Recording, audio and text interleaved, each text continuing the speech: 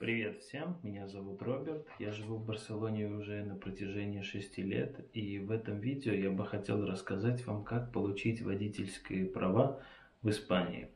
Для начала скажу, что получить тут права не так уж сложно, только надо иметь много нервов и денег. Цены зависят от региона проживания. Например, э, в Мадриде, в Мурсе стоит от 300 евро, в Кастейон, Сарагоса 400 евро. В Барселоне, в Жироне где-то от 500 э, евро. Без учета госпошлины, который стоит в этот момент, как записываю видео, 92 евро и 20 центов. В эти цены входит э, теоретическая подготовка до экзамена и 10 практик. Точнее, ну, 10 практик это значит, что 10 раз э, можете поводить, попрактиковать машину. Как только я переехал в Испанию на ПМЖ, у меня появился вопрос. А могу ли я водить э, с моими водительскими правами тут э, в Испании? В моем случае армянские права, которые я получил в 2011 году. Начал искать информацию, как обменять права, как что можно с этим поделать, чтобы поменять свои армянские права на испанские. Но все везде пишут, что только можно сдавать экзамен и все, больше ничего. Нет обмена, нет ничего. Надо и теорику, и практику сдавать. Я начал отчаиваться, потому что мое знание испанского было такое «Hola, una cerveza, por favor» максимум то, что я мог сказать. Как только я получил карточку резиденции, сразу пошел и записался в автошколу, ну, чтобы учиться и сдавать эм, на права. Я ходил туда два месяца почти и безрезультатно, потому что там люди все были местные, а я иностранец, и мое знание испанского, ну, как я сказал, уже было не очень хорошим, поэтому я начал отчаиваться, потому что подумал, думал, что нет, вот так, таким моим знанием вообще никак не смогу я сдавать экзамен теории. Вот это моя предыстория, а теперь к сути.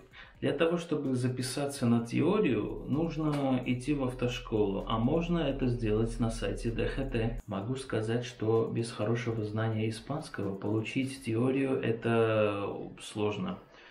Ну или можно зубрить, но в моем случае это не работает, потому что я не умею зубрить, я должен понять, о чем идет речь. Есть два способа записаться на экзамен теории. Первый. Идете в автошколу, регистрируйтесь, сидите там э, и учите, там тесты делаете. Когда вы готовы, автошкола вас запишет на экзамен, вы пойдете и сдадите, если будете хорошо учиться. Вот. Второй способ, мой, который выбрал я после того, как э, не получилось с автошколой. Я зашел на сайт dht.es, записался на экзамен и подготовил документы. Сейчас я, например, и покажу, как э, взять э, ситу, день, чтобы идти и сдавать экзамен. dht.es и тут э, в отделе Tramites надо выбрать Solicitud de cita previa. Выбираем. Тут открывает одно окно. Тут можно делать очень много всего. Но в нашем случае давайте возьмем Solicitar cita previa на правом углу. Нажимаем еще. Тут открывает тут надо выбрать, где вы находитесь, ваша провинция, ваш город, э, не знаю, вот. Тут много всего есть. Любой можете выбрать, зависимо, где вы находитесь. В нашем случае выбираем Барселона. И тут надо выбрать тип трамиты. Трамитес де офисина. Нам нужен вот первый. Нажимаем на это, а потом континуар. После того, как мы зашли сюда, нам показывает множественное число вариантов, какие у нас трамиты доступны, чтобы взять ситу. И в нашем случае нам нужен área exámenes permisos de conducir. Вот тут continuar. Тут надо заполнить этот бланк, чтобы взять день. Например. Вот я тут заполнил. Все это написал, а потом надо солиситар. Ну, можно эти три, это четыре отдела написать, а потом солиситар. Угу. Вот. Сейчас показывает все доступные даты, которые можно взять. Например, вот 19 да? Тут часы, которые доступны в 10 утра, например, потом континуар. Выбираем. Нажимаем тут конфирмар и все. Наша сита уже подтверждена. После того, как вы взяли уже день для экзамена, вам надо подготовить документы. Это две фотографии, форма запроса и медицинская справка. Э, где я взял медицинскую справку, оставлю в описании. Мне все это стоило 45 евро. Две фото, четыре фотографии, медицинская справка. Это было в моем случае Барселона, это рядом с ДХТ, с полицией рядом, там примерно 100 метров было. Сейчас у вас есть уже день, и мы идем в ДХТ, чтобы сдавать документы, записаться на экзамен, потому что тот день, который мы выбрали, это день, когда нам дадут другой день для экзамена. Точнее, выходит так, берешь день, чтобы тебе дали другой день для экзамена. Э, когда вы будете уже брать этот день там в ДХТ, там на сайте, как я уже показал, вам не удастся оплатить госпошлину, потому что там просят всегда какой-то сертификат или какие-то регистрации. Но не надо отчаиваться. Когда вы идете в ДХТ, там можно сразу оплатить, но э, с карточкой.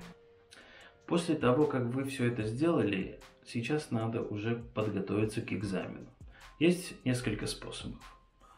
Первый, ну, точнее два, которые я знаю. Первый покупаем книгу Permiso B называется. Или можно через Amazon, можно пойти в любой книжный магазин и искать самый последний, потому что каждый год как что-то меняется. Если у вашего знакомого есть книга, посмотрите какого года, потому что каждый год там какие-то маленькие детали меняются, и эти детали, которые вы выучите, может этот вопрос попасть, Э, как вы учили, это будет правильно по-вашему, но уже поменяли, уже это не актуально. А второй вариант это по приложениям. Так как мы решили сделать это сами, выбираем второй вариант. Все ссылки на сайты, на приложения будут в описании. Я рекомендую взять экзамен месяц вперед, чтобы у вас было время подготовиться, потому что из разных источников сообщают, что э, вопросы для экзамена около 13 тысяч. На экзамене у вас будет 30 вопросов, э, которых надо отвечать 27 правильно. У вас есть э, максимум права на 3 ошибки. Если у вас даже будет 4 ошибки, то надо э, пойти еще раз все это сделать, взять день, ситу и начать за сначала. Я рекомендую использовать приложение Todo Там есть все категории, и из 30 э, вопросов 27 попались, которые попались мне на экзамене, были точь в точь, как на этом приложении. После того, как вы сдали теорию, уже надо подготовиться на вождение. Но для этого нужно пойти и регистрироваться в автошколу, потому что без автошколы никак.